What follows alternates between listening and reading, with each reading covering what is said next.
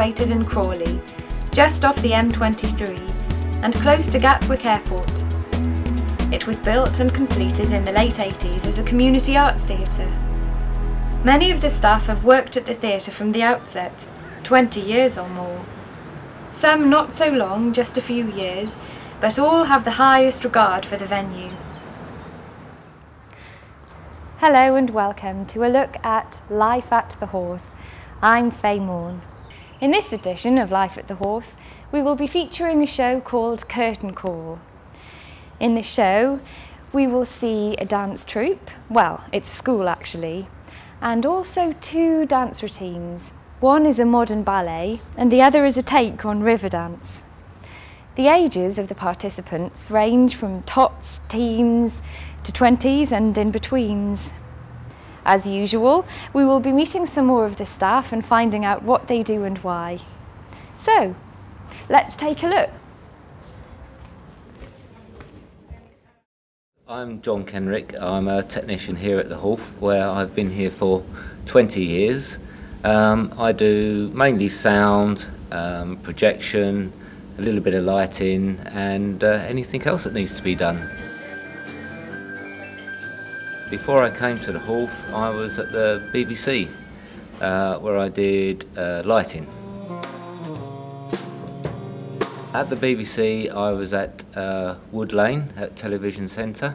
The way things have changed since I've been here over the last 20 years is um, sound-wise, we've gone from reel-to-reel tape recorders for sound effects. Uh, we're now using computers, which makes life a lot easier and uh, it's a lot quicker to set up and edit sound effects lights here are much the same. Um, we still we was started off with a computer desk, and we're still running on a computer desk. Um, we're just looking into getting a new one because the the old one is be getting difficult to find spare parts for it. I'm very happy here. It's a, a great place to work. Everyone's really friendly, and we all get on and do our jobs. Um, we're not bothered at all by um, hierarchy. Um, uh, it's very laid back here and the work always gets done and uh, it's, it's a fantastic place to work. Excellent. I'm on sound for the day and we've got a small jazz band in and at the moment we've just marked up the desk. An overhead mic over the drums, then the bass guitar, then two mics on the grand piano and two mics on the upright piano and a mic for saxophones on stage left side and then there's a vocal mic on the grand piano and a vocal mic on the upright piano. Um, we've also put out some foldback speakers.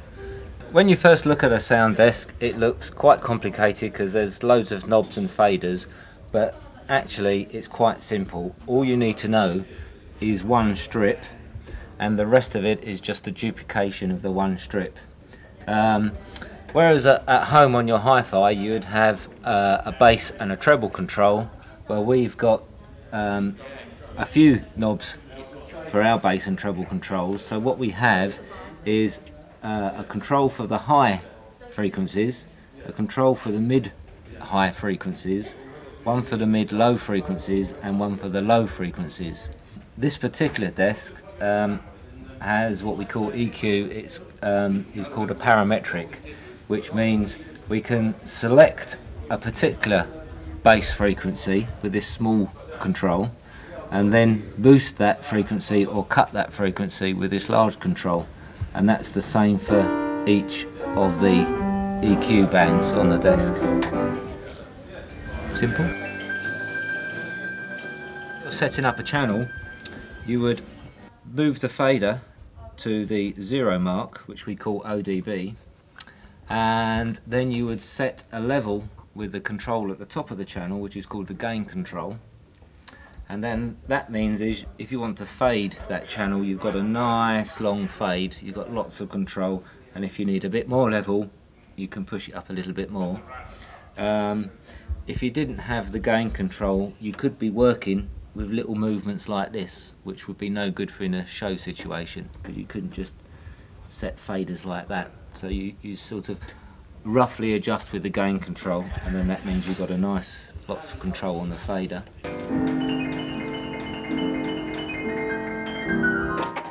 Right, I'm now going to, Quentin's on stage and he's going to scratch each individual mic just to make sure that they're working and I've got them up here and there's no nasty hums and things.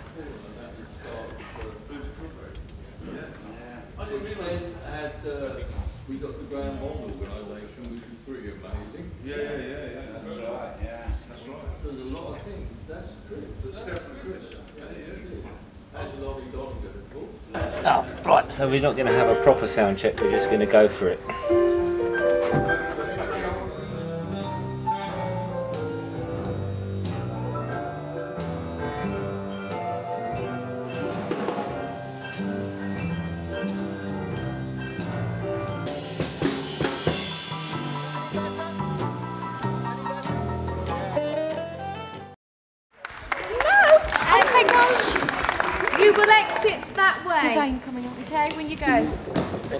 Well done, guys. Um, hip hop next. Um,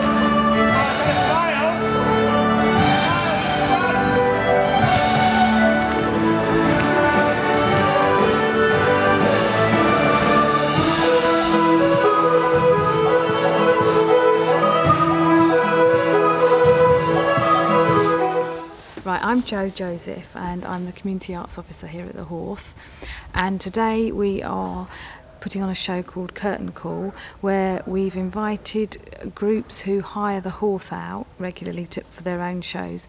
We've invited them here sort of as a celebration evening for the work that they do and it's so it's going to be a, a mixture of them all in the show tonight, a few dances.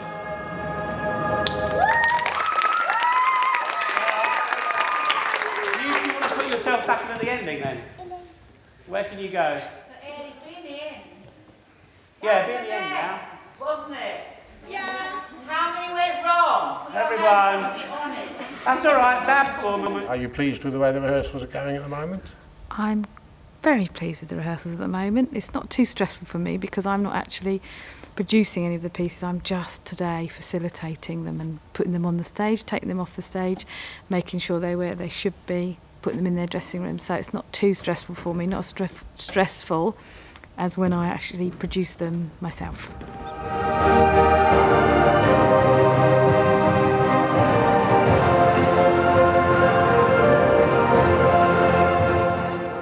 Well, we've invited the groups along and then they tell us what they're going to be doing tonight. So I just put the running order together so it's a it's a, a variety. Imagine our planet floating silently in space. Around it, a white dove flies, forever circling. Every 100 years, the dove's wing gently touches the face of the earth.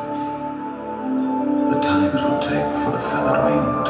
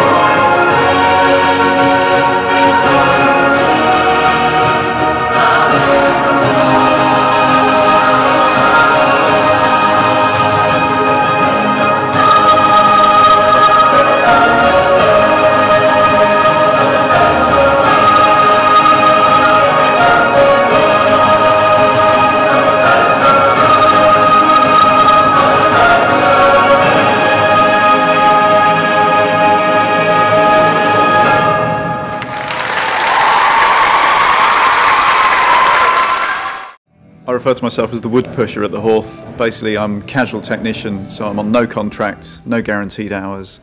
Um, I come in as and when on a casual basis, which means about 30 to 60 hours a week at the moment. So I occasionally get the week off.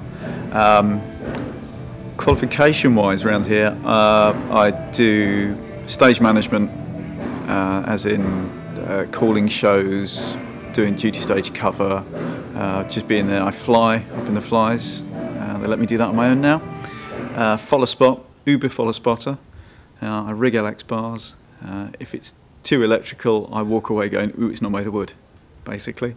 Uh, been here about two years, just over two years this October. Um, I did a little bit of casual work here before, so this will be my fourth pantomime, I think, which will be good fun. Uh, before that, I actually came from the other side, so I'm a, a trained ballet dancer and uh, spent 15 years doing touring in West End musicals as a performer, so singer, actor, and dancer. Uh, also done company management, which I'll never do again. It was too stressful.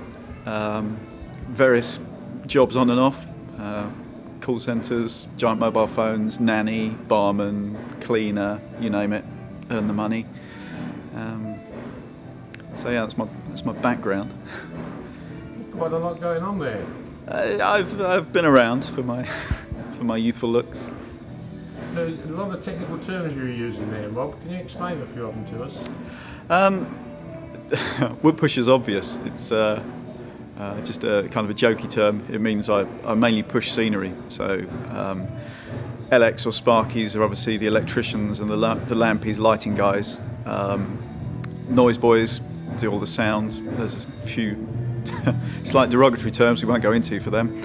Um, uh, wood pushers move scenery, chippies, carpenters, um, and yeah, generally look after stage. Fly monkeys, uh, anything that drops in and out uh, that's hung on a bar, all the cloths, um, anything you see flying going up and down, uh, that's flies, obviously. You were telling me a while ago about some of the stage terminology, left, right, up, down, and that sort of thing. Yeah, that, that gets confusing for a lot of people. Uh, it confused the hell out of me for years. Basically, uh, when you're on stage, everything, uh, all directions that are given from the front, uh, everything, all the scenery is laid out to stage left and stage right. So that means that if you're stood facing the front and the audience, it's the actor's left and the actor's right. Um, so you've got centre stage, stage left, stage right. Upstage and downstage is the one I could never get. Um, upstage is the back, downstage is the front.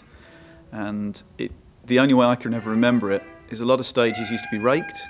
So for forced perspective, um, in the old days, going back hundreds of years, uh, which means a slope, and the slope obviously goes down towards the front, towards the orchestra pit. And if you dropped a ball or you dropped a coin, it will roll downstage, it will roll downhill. So it's the only way I could ever remember where down was. Because you can guarantee if a director says, can you move up stage, you'll go the wrong way. If they say, can you move stage right, you'll definitely go stage left. Um, it's, it's something that takes a lot of getting used to. Uh, it gets quite difficult when you're follow spotting, because obviously you're facing the other way, and you're facing from the front, so stage left is your right. So when someone asks for a pickups down stage right, uh, you go for it. If someone says then quickly up stage left, you hesitate, and that, that can mean the difference between getting the pickup and not getting the pickup. So is that connected with the phraseology of being upstaged at all? Upstaged, yes. When you're upstaged, it's an actor's thing. Um, if you've got two people standing on stage having a conversation, the audience wants to be able to see both their faces. Um, now, if, if one of you moves up the stage, up the rake, the other actor has to start turning around to face you. So the further you go up, the further they have to turn around. And uh, that's upstaging because all of a sudden the audience can only see the back of their head, but they're looking at your face. So you've successfully upstaged them, uh, which can lead to performers just moving backwards and backwards and backwards till they're stuck against the back wall. Uh, the, art, the art to that one is if someone's trying it, you just ignore them and face the front. So they, they start looking silly. That's the idea, at least. Tell me about the Super Trooper. Super Trooper is a brand of follow spot. So um, uh, we've got our follow spots here. They're um, Robert Juliat. Um, these are little frames for coloured filters. So I don't know if you can see down the end. If you flick switch, the coloured gel comes in front of the, the lens to give it a different light. And uh, our hollow sights. And then you change the size the size of the beam. That's big. that's minuscule, and that's about a full body. And then just fade it on and off with our roller bar there. You aim it like a rifle then when you say talk about sights, do you? just like a rifle. It's got um, a little. You probably can't see it.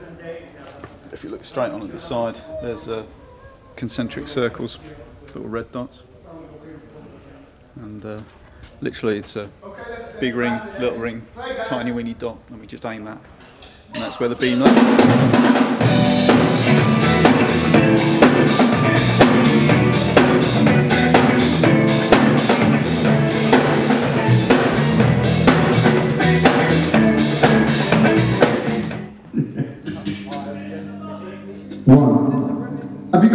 Got? You know, uh, one, one, one. Ping pong. Uh, it's up on the fly gallery. Um, these, this is what controls all the cloths in and out. One, And uh, one, one. at, at the moment, these are obviously uh, these green tape marks. Uh, it's the tail, and that means that all these bars are actually empty and they're on the grid. So they're as far out as they'll go. And if you're flying during a show and you see the green coming up through the brake, um, if it actually reaches that point, you're going to get a really loud bang as the bar hits it. It's, it's ringing the grid bell. Uh, something you don't want to do in a show. You get a shower of dust and everyone looks at you like you're an idiot. So um, what we do is we have a red mark, which is just on this rope here. And that's, that's our show out dead. So the cloth at the moment is hanging just up behind the border. So that as soon as, soon as you get the go for the cloth to come in, it, it'll appear. That's its shortest route in. So that's our, once we're coming out, as soon as we reach that point, we know we can lock the brake off and that cloth's clear, the audience aren't going to see it, we can move on to the next fly cue. So yeah, and uh, our, our system here, it's a counterbalance flying.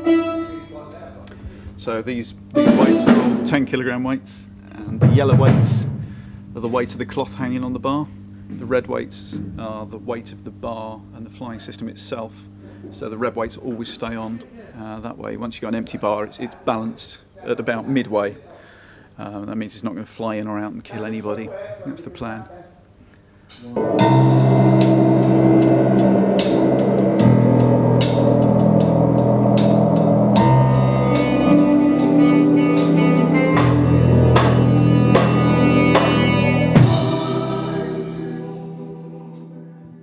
Difference between flies and wings then? The wings. Um, the wings is anything on the edge.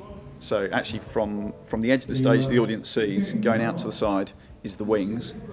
Um, flying is entirely different. They're not really um, not really associated. But flying is anything that comes up and down that's hanging is flown. And uh, it always used to be run by sailors because they had the knowledge of the rigging and the ropes. Um, so they used to be kind of get roped in to do it. And whistling backstage is unlucky because if you whistle, that used to be the cue for the sailors to pull the ropes before they had electronic communications and things. So if you whistled, one of these would come crashing down on your head or disappear out behind you. This is our green room. Uh, it's uh, generally it's the, the restroom or like the common room for the actors or well, any performer we get here. So particularly glamorous, but it's it's a nice resting space. And uh, the name Green Room, uh, well, even on the green, uh, phrases from theatre, is in the very old days of touring theatre, where it was on the back of a cart, um, uh, kind of Shakespearean times. Uh, the green was the acting area. It was actually a green cloth laid down to represent the ground uh, and the space around you. So the phrase "see you on the green" means literally see you on stage, see you on the green cloth. And when theatre started moving into theatres themselves, the green was kept in the green room. Um, and obviously, when the green is out and people are performing, the green room became an empty space. So it then became like the congregation common room for the crew and the actors and the performers. So hence they're all called green rooms now, although this one is pinkish.